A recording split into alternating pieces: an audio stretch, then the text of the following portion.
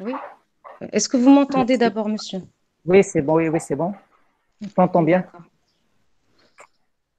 Ils allaient Alors.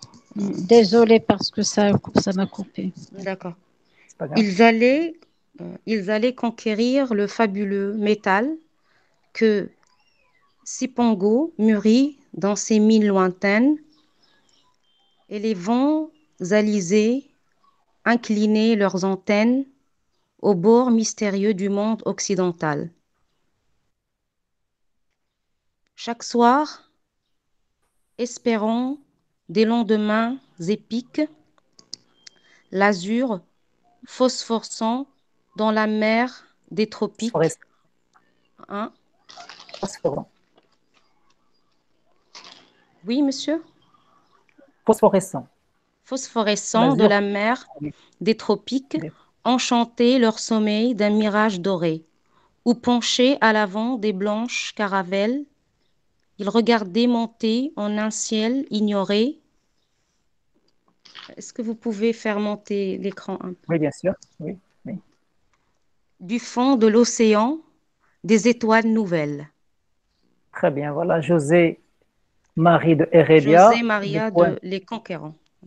Oui, Les Conquérants, c'est dans le recueil Les Trophées, Paris Gallimard. Euh, le poème a été écrit et publié pour la première fois en 1893 et publié en euh, deuxième édition euh, chez Gallimard en 1981. Très bien. Alors, la, première question, retrouver l'ordre normal, l'ordre en quelque sorte normal de la première phrase comme un vol de gerfaux hors du charnier natal, fatigué de porter leur misère hautaine, de palos, de moguer, routiers et capitaines, partaient ivres d'un rêve héroïque et brutal. Monsieur, je peux faire une proposition? Bien sûr, plaisir.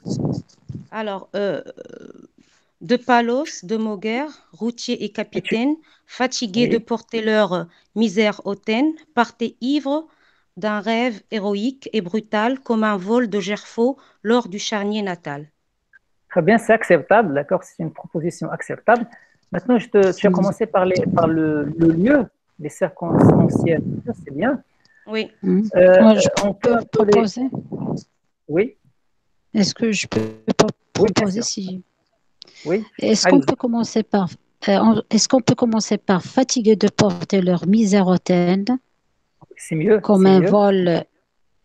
Comme un vol de gerfaux hors du charnier natal. Oui. oui. Qui est fatigué? Qui est fatigué de porter leur misère hautaine Ce sont les conquérants. Très bien, mais dans le dans le, la strophe, c'est qui? Routier et capitaine. C'est routier et capitaine. Très bien, tu as bien démarré. Hmm. Alors, euh, on peut hmm. commencer comme ça.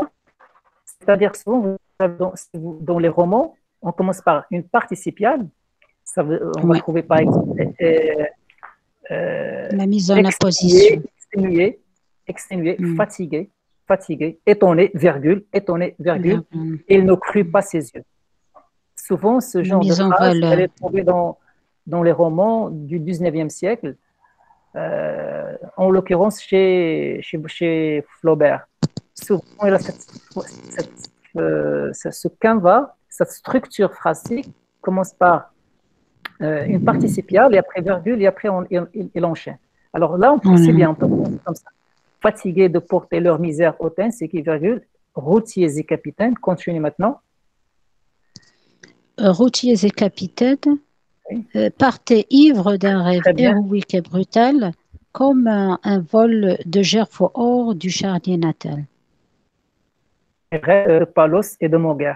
Très bien, on peut ajouter à la fin, à travers le, le, les circonstanciels de lieu, euh, mm. on peut les les décaler à la fin, c'est-à-dire euh, hors du charnier natal, de Palos, de Moguer, comme on peut, comme on peut par exemple. Alors, euh, je vous propose la voilà, fatigué de porter leur misère hautaine, rotiers et capitaines, partez. Là, j'ai inséré le lieu. Vous, vous pouvez le, le, mettre là où vous voulez parce que les circonstanciels de lieu sont déplaçables, il n'y a, pas de il a pas de souci là-dessus à travers, c'est-à-dire par le, le, billet, de ces deux ports qui se trouvent en Espagne, Palos et Moguer, partaient ivres d'un rêve héroïque et brutal, et vers la fin arrive la comparaison comme un vol de Gerfo hors du charnier natal. Alors ça, en ce qui concerne la première question, est-ce que vous avez saisi un petit peu le, la structure de la phrase? Oui, oui monsieur. Très bien. Euh, L'objectif de, de, retrouver l'ordre, c'est quoi? C'est tout simplement de faciliter l'accès au sens. Alors, -hmm. plus, plus vous rétablissez l'ordre, euh, en, je dis, euh, en quelque sorte, c'est pas tout à fait naturel, pardon, au canonique de la phrase, plus on rétablit l'ordre normal de la phrase, plus, plus on accède facilement au sens euh, de la phrase, en l'occurrence ici de la strophe. D'accord? Alors ça, c'est pour la première question. Alors la deuxième question, c'était, ou la troisième plutôt, les figures de style et en indiquant leur euh, fonction. Alors euh, chacun d'entre vous essaie, ou chacune d'entre vous essaie de d'identifier une figure et de la de la si commenter. C'est qui C'est Rachida? Amine? Oui, monsieur. On a la comparaison. Très bien.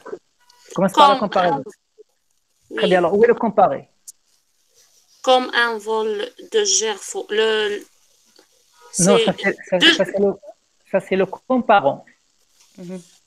D'accord euh... Après, comme, vous avez explique un petit peu. Vous dites, elle est, euh, cette fille est courageuse, est courageuse comme une lionne, une lionne, ce qui vient après comme, c'est l'image. C'est l'image. C'est l'image choisie pour euh, déterminer, qualifier, le, le comparer, le comparer qui se trouve le dans... le char... Oui C'est le charnier natal, non? Non, non. Non, la façon de partir, euh, comment est-ce qu'il part On l'a c'est- comparé. Pardon. Euh, euh, D'accord, pourquoi Parce que tous à la fois.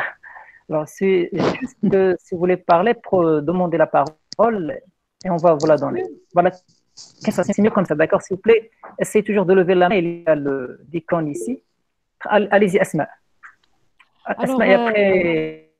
Euh, La figure du style de, de la comparaison, on a le comparé, c'est les routiers et capitaines qui sont fatigués de porter leur misère euh, hautaine. Très Ils sont comme un vol de Gerfo hors de Charny natal. Alors, Tu- tu- comparent- Attendez, attendez. Très bien, tu as euh, commencé par euh, routiers et capitaines, c'est le comparé. Mais la réponse est partielle, c'est-à-dire qu'elle est incomplète un petit peu. Bien, alors, allez-y, Moussaïd. Euh, Moussaïd, D'accord, Moussaïd, euh, Moussaïd, d'après ce que j'ai compris. Oui, Tu vois ici, tu vois Oui. ici ce, cette main qui est levée, tu la vois? Oui, oui, je l'ai. Je, je euh, la voilà, baisse tu peux- tu peux- tu- non, tu peux appuyer, tu peux cliquer dessus comme ça, et on va organiser le- le- la parole. Voilà. Chaque fois que tu veux intervenir, c'est- Ah, d'ac- d'accord. Voilà, Maintenant, alors maintenant, on, on te donne la parole maintenant, allez-y. D'accord, merci. Alors, euh, d'après ce que j'ai compris, donc euh, ici on a la, la façon de, de partir. Comment est-ce- on a comparé la façon de partir des, euh, des routiers et capitaines. Et on l'a comparé à quoi? À un vol de Gerfo hors du, du charnier natal. Absolument, absolument. Très bien. Quelqu'un d'autre? Asma, tu voulais parler? Non, euh, vous avez dit que c'est c'est une réponse incomplète. Très bien. Euh, maintenant, elle est complète par, par celle apportée, par celle avancée par Moussaïd, à savoir que c'est à la fois le des, des routiers et capitaines. C'est pas uniquement les routiers et les, les capitaines, par- parce que dans la comparaison ici, vous avez le vol, d'accord Le vol. Alors, euh, pour vous, alors, je, je swing le J'ai vol. pas- Je, je m'excuse, j'ai pas compris. Monsieur, Euh, Voilà. vous dites- je- Monsieur Je dis, oui, qui? Monsieur? Voilà. Zainab. Oui. Alors, euh, nous savons tous que pour la comparaison, il y a, il y a, il y a quatre éléments. Il y a le comparant, il y a le comparé, il y a l'outil de comparaison. Alors, les trois, on, on les a relevés. Donc, quel est le point commun entre les routiers, d'accord, et les capitaines, et le vol de Gerfond? Donc le point commun. Oui, mais euh, la question de votre on y arrive, Zineb, mais la question de votre camarade, il n'a pas encore saisi la relation entre le comparé et le comparant, d'accord? Où est le ah, comparé Non, d'accord, je m'excuse. Non, non, c'est pas la non. J'ai répondu et dit que le, comparé, c'est les routiers et capitaines. Oui. Vous avez dit, euh, j'ai compris la, réponse avec euh, les routiers et les capitaines qui sont euh, fatigués, ce qui est comme un vol de Jaffo. Vous avez dit que c'est la, réponse n'est pas complète. alors, oui.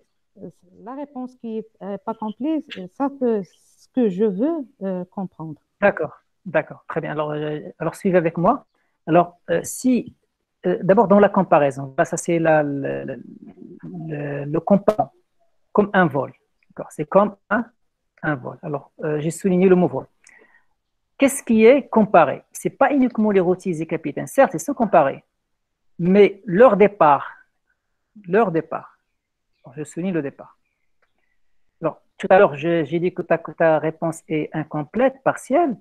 Routiers et capitaines, c'est bien, mais il, il fallait y ajouter le départ, partez. Pourquoi? Parce que, parce que dans, la, dans le, comparant, le comparant ici, c'est pas un gerfo. Si, nous avions comme un gerfo, alors votre réponse serait complète. Mais vous avez comme un vol. Alors le vol, il fait écho, il fait écho à l'action du voyage concrétisé par le verbe partez. D'accord? Alors ça, c'est les éléments, de, la comparaison. Maintenant, on arrive au quatrième élément dont parle euh, Zineb, c'est la fonction. C'est-à-dire, pourquoi on a comparé ce départ des routiers et capitaines à celui d'un vol de Gervaux hors du charnier natal. D'accord? Monsieur, et moi, je veux... si oui. je, je, peux, je pense, je crois, euh, le, le, vol de Jaffo hors de charnier natal. Alors, le, le, le charnier, c'est le lieu où, où, ils sont les, les, os ou bien les, cadavres. oui, les cadavres. Alors, les, les oiseaux, ils, ils, cherchent euh, de quoi se nourrir. Se nourrir. Oui. Se nourrir, oui, très bien. Ils cherchent de quoi se nourrir, oui. Alors, les routiers et les capitaines, qui, partent. Alors, ils cherchent de quoi se nourrir. Euh, oui. Ils, ils, cherchent un travail ou bien. Euh, tout à fait, tout à fait. Alors, euh, c'est un bon début. Voilà. Alors, vous êtes sur la bonne piste, mais on, va, on, doit, on doit creuser davantage. Regardez.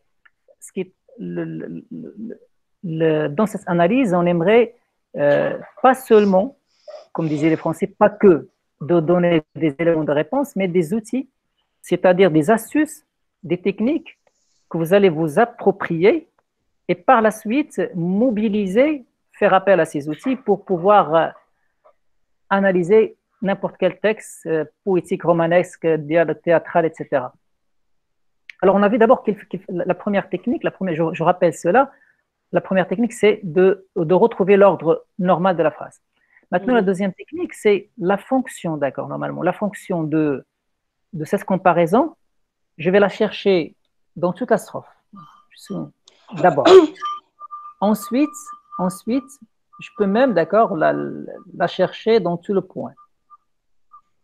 Il faut toujours tenir, tenir compte, tenir compte, d'accord, tenir compte de la vision globale euh, de, de la figure de ci. Certes, la figure, elle est locale, mais il faut tenir compte de ce qui est global. D'accord. Allez-y, Mandor.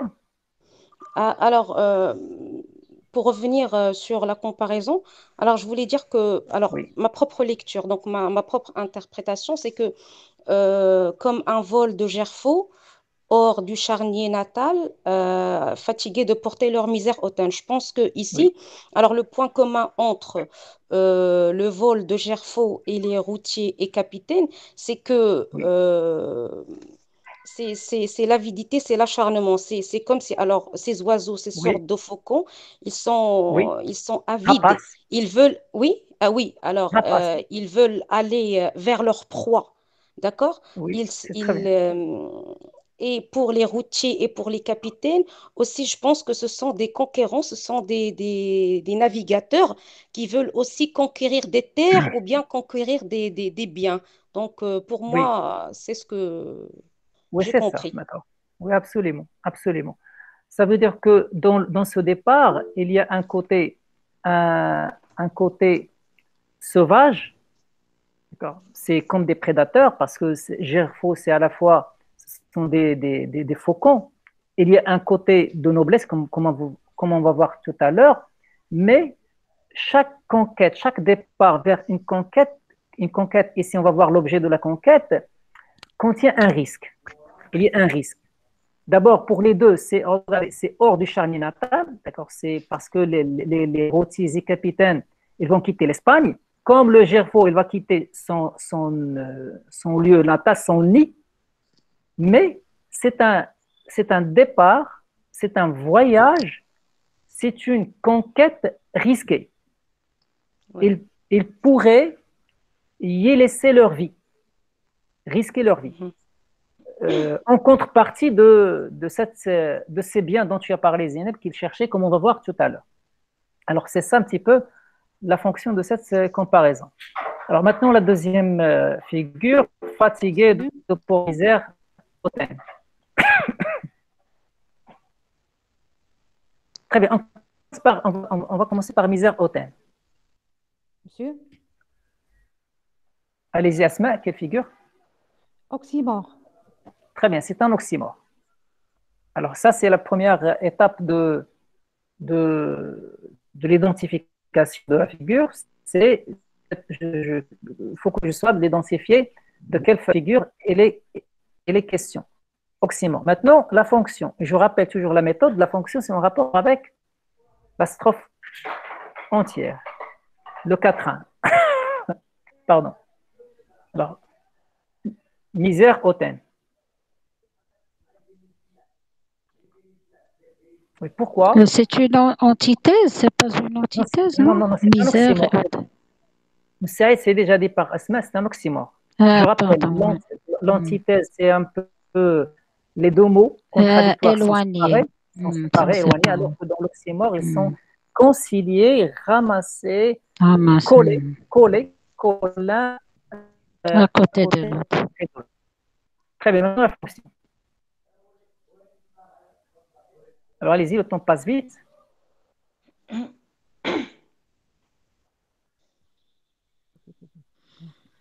Très bien. Euh, euh, Mandor. Oui, monsieur. Tu as dit que il partait pour chercher un bien. Si, d'accord, maintenant le supposé, le sous-entendu, si, si il partait pour la recherche d'un bien, Mhm. Ça veut dire quoi Dans leur situation actuelle, dans leur situation actuelle, Misère. ils sont misère. Alors, c'est clair. C'est clair. Maintenant, ce qu'on doit comprendre, c'est hautain. C'est l'adjectif hautain. Misère, mm hautaine. Comment on peut l'interpréter? Et c'est en rapport avec le verbe, d'accord? Fatigué de porter leur misère hautaine. Hautaine, ça veut dire que c'est quelque chose inaccessible, c'est quelque chose qu'on ne peut pas atteindre facilement. Noblesse, la noblesse, par exemple. Il y a, une certaine noblesse, mais ce n'est pas ici, c'est pas dans le sens de inaccessible. Alors, je vais aller vite parce que le temps passe. La fierté. Euh, c'est une fierté, d'accord.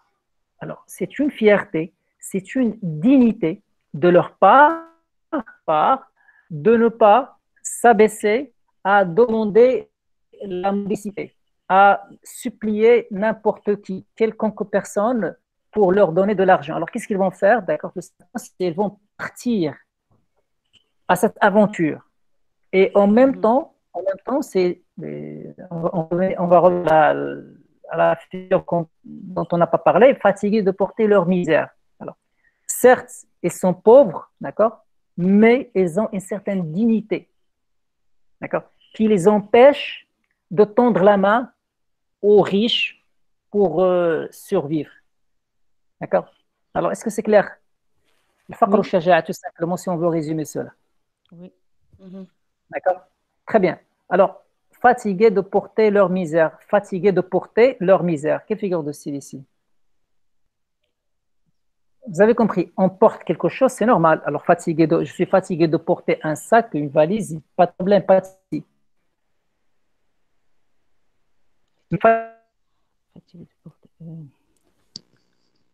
Alors, la, la, misère. Personnification. Non euh, très bien. C'est quoi la personnification? C'est quand on attribue une qualité euh, d'une personne à, à un chose, une un chose objet, inanimée ou bien un objet. Très bien, voilà. Mais ici, qui est fatigué de porter? C'est les routiers capitaines. Les routiers. D'accord? Alors, euh, on est toujours dans le champ lexical humain, dans le domaine humain. Il n'y a pas de, si par exemple vous avez la misère, la misère est fatiguée. À ce moment-là, oui. Hmm. Alors c'est une métaphore. C'est une métaphore. C'est une métaphore. Regardez toujours, je vous rappelle, chaque fois que vous pouvez transformer une méta, un énoncé ce dont vous doutez, euh, sur lequel vous avez un doute sur la réponse, et vous pouvez le transformer en comparaison, à ce moment-là, sachez que c'est une métaphore. Alors, la misère est comme quelque chose de, comme un fardeau, quelque chose de lourd. Alors, fatigués de porter leur misère. Alors, c'est une métaphore euh, nominale qui porte sur le nom, la, misère, de porter leur misère. Comme il y a des, métaphores verbales. C'est pas uniquement la métaphore de A, euh, A euh, et, A est à B. C'est-à-dire que A, on va retrouver l'homme est un loup. L'homme est un loup. Toujours il y a la copule, non. Parfois, il y a des métaphores verbales, des métaphores adjectivales, des métaphores nominales. On aura l'occasion de, d'approfondir euh, ces figures par la suite. Très bien. Alors, fatigués de porter leur misère.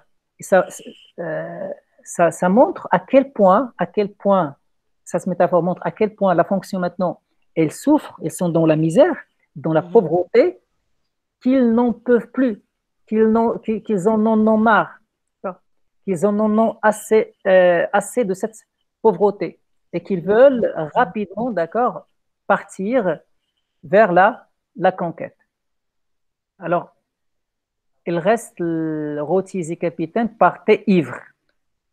Alors, ivres d'un rêve héroïque et brutal. Alors, le dernier vers partait ivre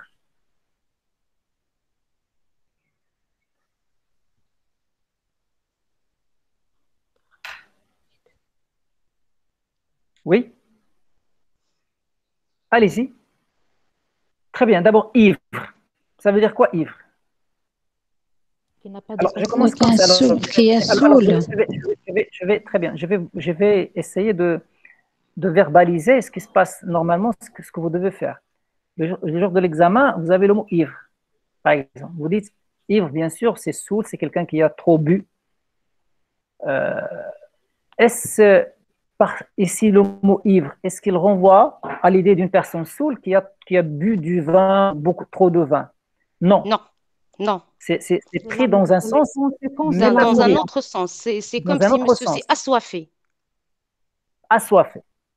Alors, c'est assoiffé. Là, juste ivre, ivres, elles sont comparées, d'accord, ces routiers et capitaines, à la situation d'une personne ivre, ivre, d'accord, c'est-à-dire ça y est, euh, ses, ses facultés intellectuelles, son entendement ne fonctionne plus, d'accord, elle est obnubilée, elle est obsédée, elle est assoiffée, concentrée sur une seule chose. C'est quoi? C'est ce rêve, d'accord, ivre d'un rêve, on va voir, alors là, c'est une et brutal.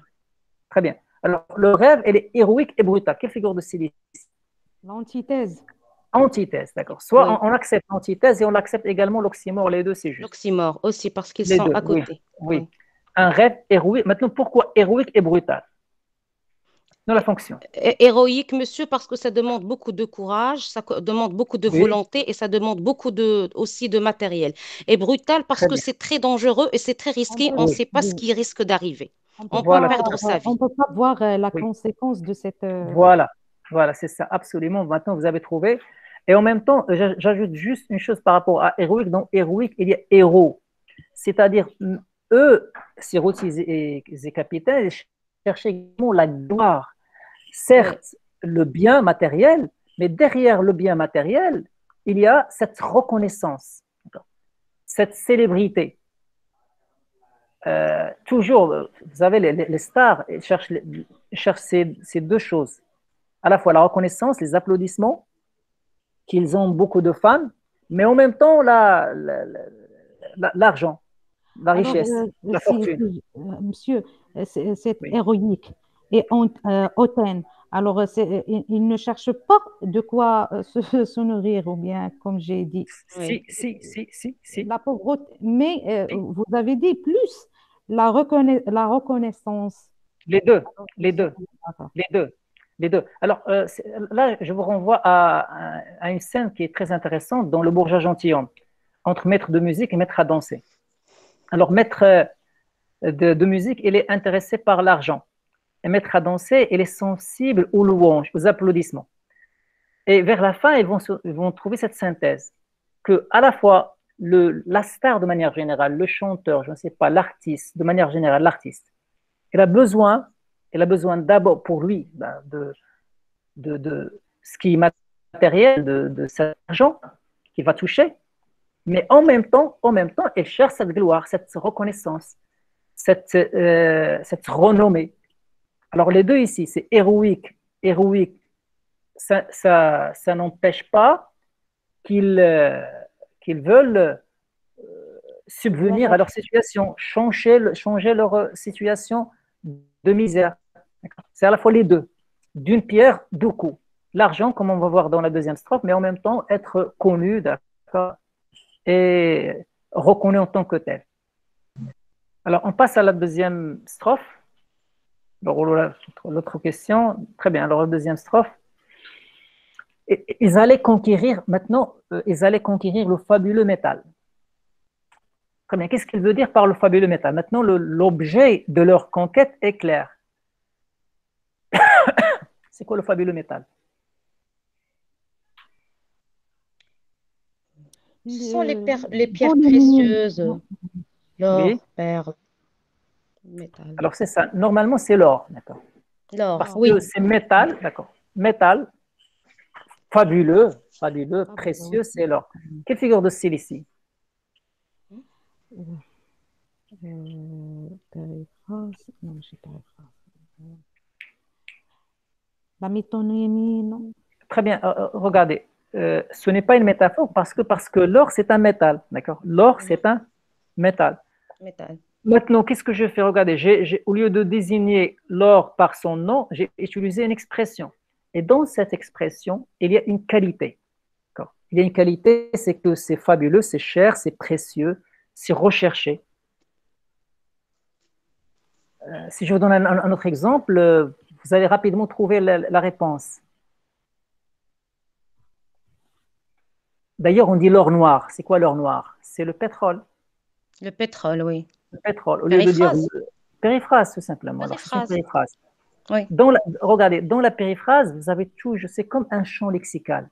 C'est comme un champ lexical en, en, rapport avec le mot dont on parle, le mot Mhm. qu'on veut, qu'on veut dire. Euh, Dans la ville, dans la ville rouge, la ville rouge, Marrakech. Mais, mais c'est vrai que ces, ces maisons, ces façades sont, sont peintes par le rouge. Euh, le, roi des, des, des, des- animaux, le, le- le- les, Le lion. le, lion, les, ce qu'on appelle, euh, juste par exemple, si je prends, euh, vous prenez pour les enseignantes ici, un élève de votre classe ou une élève, et vous, au lieu de dire l'élève, vous dites euh, cette jeune fille, cette jeune fille ou ce jeune garçon. Ça, c'est une périphrase. Ou l'élève qui porte ceci, cela, qui, qui s'assoit au devant. C'est une périphrase. D'accord?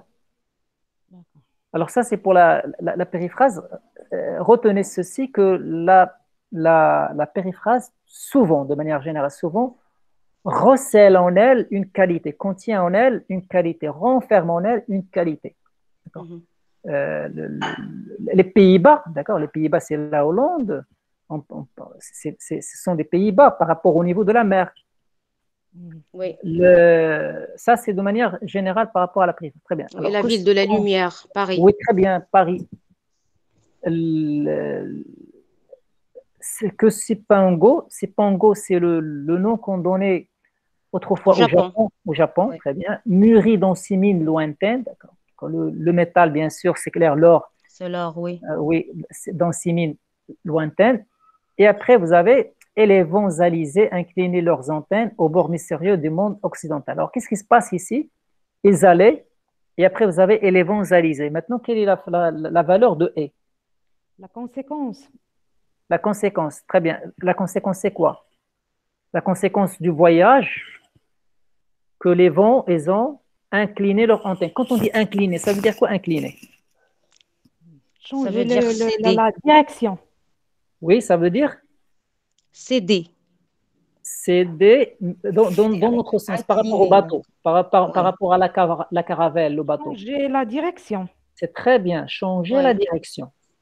Alors, si je n'ai pas compris le et, je vais vers le, le verbe incliné, ou un autre mot dans le, dans le, verbe.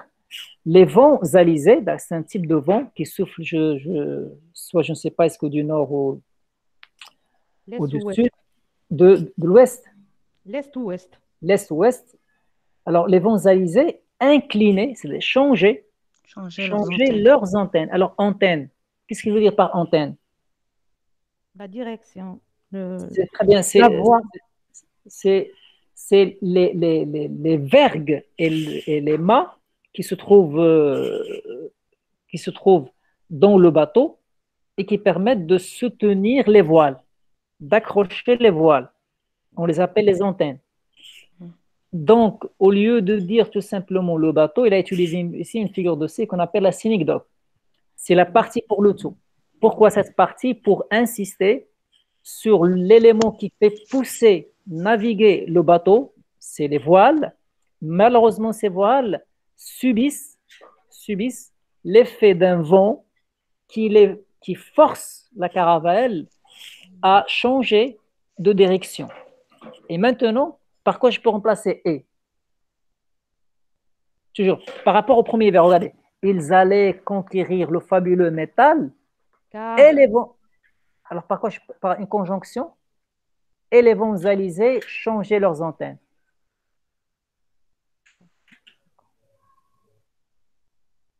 Juste remplacer et par, euh, par une autre euh, conjonction. Donc, alors, c'est pas alors. Non. Très bien. Alors, si, regardez, si les, vents changer votre direction. Oui. c'est pour, pour incliner. Non, non, c'est pas pour incliner. Regardez, eux, ils allaient conquérir. Vous avez compris? Ils partaient, ils allaient. Mais le vent, il a changé leur direction. Donc, c'est une opposition, monsieur. Une opposition, je viens de donner la réponse. J'ai dit, mais eux, ils allaient vers, vers un, un but précis, un point précis, une destination précise c'est Sipango, c'est le Japon, pour euh, conquérir, pour retrouver le fabuleux métal, mm. en l'occurrence l'or. Mais, ce qui se passe, mais, mais là, on a l'opposition. L'opposition.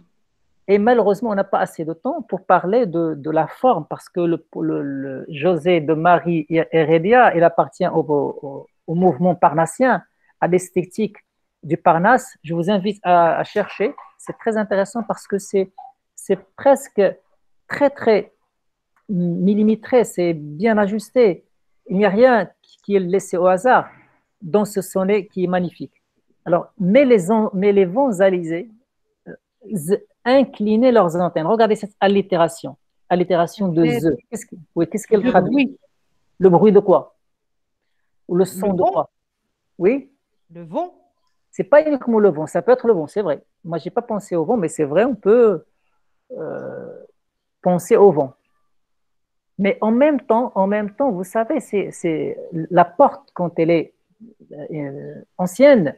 Vous avez les gants, d'accord Les gants, ces, ces charnières, ces charnières qui permettent à la porte de se mouvoir.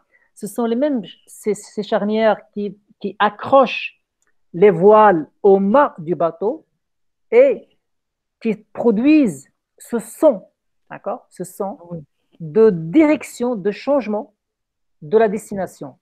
Alors, le, ce, changement est traduit par cet effet, par cette allitération, cette figure de style qu'on appelle l'allitération, c'est la répétition de consonnes. Et les vents alisés incliner leurs antennes au bord mystérieux du monde occidental. Eux, normalement, la destination, c'est Pongo, mais malheureusement, je ne sais pas si malheureusement ou heureusement, euh, le, vent a changé leur direction et se trouve, il se trouve maintenant au bord mystérieux. Le mot mystérieux est très important parce qu'on va le voir tout à l'heure, du monde occidental. Très bien, alors les deux tercets, parce que le temps passe vite et je sais que certains parmi vous, y compris moi, devront préparer la rupture euh, un petit peu le fort, comme la rupture du jeûne. Alors chaque soir, espérant des lendemains épiques, l'azur phosphorescent de la mer des tropiques enchantait leur sommeil d'un mirage doré. Ou penchés à l'avant des blanches caravelles, ils regardaient monter en un ciel ignoré du fond de l'océan des étoiles nouvelles.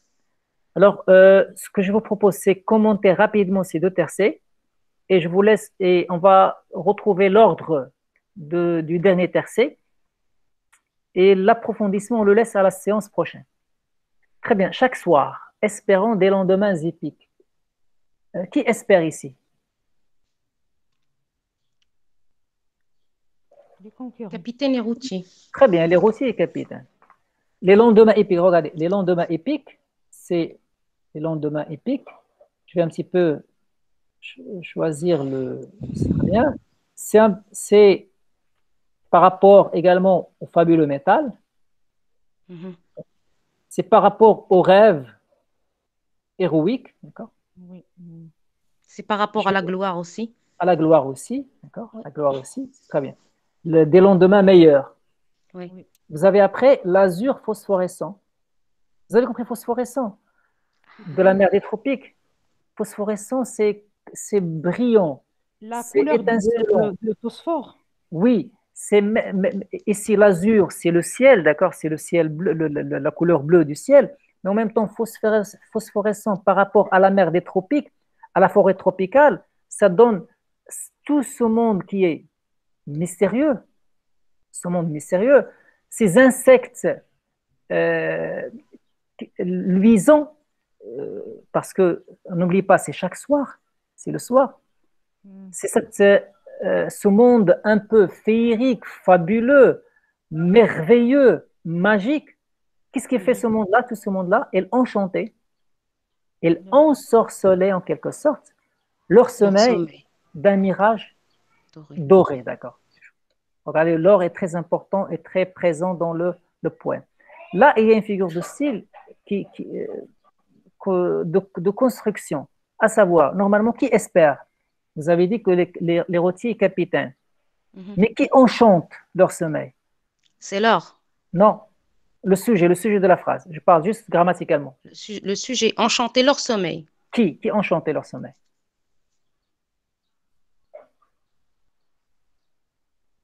Le sujet de enchanter, c'est qui dans, dans, le texte? C'est? L'azur phosphorescent. C'est l'azur. C'est l'azur. Et remarquez, on a commencé le sujet par le, le tercet par un sujet. Chaque soir, espérant. Ceux, ceux qui espèrent, c'est qui? C'est les routiers et capitaines. Ce sujet, alors faites attention bien, ce sujet est resté en suspens, en suspens. Et il y a l'introduction d'un nouveau sujet, l'azur phosphorescent. Et le verbe s'accorde par rapport au deuxième sujet, alors que le, premier sujet tombe euh, dans, les, dans les oubliettes, comme on dit. Donc, c'est une figure de style qu'on appelle l'anacolute. C'est quoi l'anacolute? C'est une rupture de construction. Et cette rupture, cette rupture, il a un sens, d'accord? Je ne vais pas maintenant vous la donner, je vous laisse euh, le temps, la, séance prochaine, pour essayer de retrouver la fonction de cette anacolute. Anacolute. Est-ce que vous avez, euh, si vous dites dans, les lettres vers la fin, vous dites euh, espérant, regardez, espérant une réponse favorable de votre part, veuillez agréer monsieur ou madame, c'est une faute ici. Attention, ce que je dois écrire, espérant une réponse de votre part, je vous prie, monsieur, d'accepter, d'accord, etc., etc. Parce que qui espère, c'est moi. Et donc, puisque c'est moi, je dois enchaîner avec le, pronom je, qui renvoie euh, à, la personne qui espère. Là, ce qui se passe, c'est quoi? C'est que euh, chaque soir, Rotier capitaine espère, et après, il y a l'introduction d'un nouveau sujet, l'azur phosphorescent, et le verbe s'accorde par rapport au deuxième sujet enchanter leur sommeil d'un mirage doré. Alors, notez bien la, fonction de l'anacolute ici parce qu'il a une fonction. Ou, regardez, soit ils font ceci, soit ils font cela. Alors, pour faire vite, regardez ici. Le verbe parter, d'action, verbe d'action, qui traduit cette, euh, ce désir euh, de partir, ce désir euh, ardent de quitter ce lieu, ce lieu de pauvreté, vers la conquête. Après, toujours vers d'action, partez, allez, et allez conquérir. On est toujours dans, la même, dans le même ordre d'idées. Mais par la suite, les verbes se, se métamorphosent en des verbes d'état. Espère, il espère. Il devient passif, enchanté. C'est l'azur qui enchantait leur sommeil. Oui, et il contemple, il regarde, tout simplement. Il regarde. Alors maintenant, on arrive à, le, dernier, le dernier tercet. Ou penchés à l'avant, à l'avant des blanches caravelles. Alors ça, euh, on, va y revenir. Il regardait monter en un ciel ignoré du fond de l'océan des étoiles nouvelles. Il regardait quoi? Alors, il regardait quel est l'objet de ce verbe Il regardait quoi? Alors, on, essaie de retrouver l'ordre de la phrase.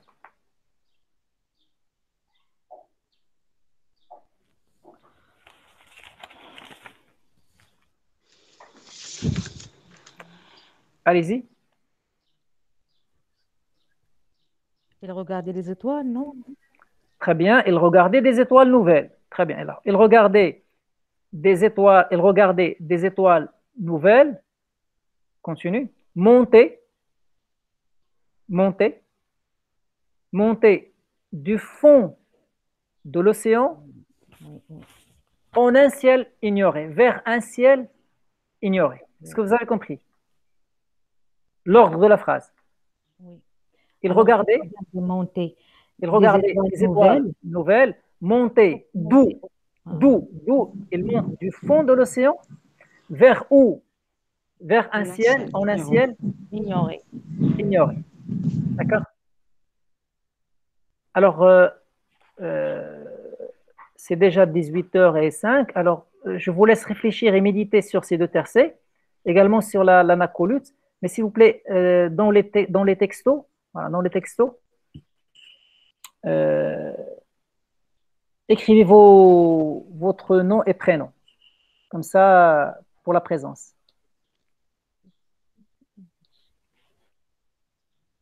Le message de la,